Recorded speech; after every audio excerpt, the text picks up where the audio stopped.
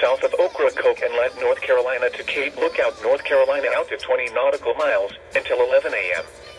At 9.54 a.m., a line of strong thunderstorms were located over the waters, moving northeast at 25 knots.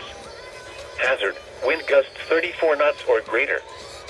Source, radar indicated. Impact, small craft could be damaged and briefly higher winds and suddenly higher waves. Locations impacted include Northwest F, Beaufort Inlet, Bogue Inlet, R8 Buoy, the vicinity of Emerald Isle Bridge, Cape Lookout Bight, Emerald Isle, New River Inlet, Harker's Island, Stones Bay and the vicinity of Davis.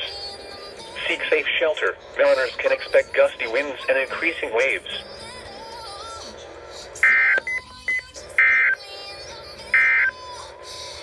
The National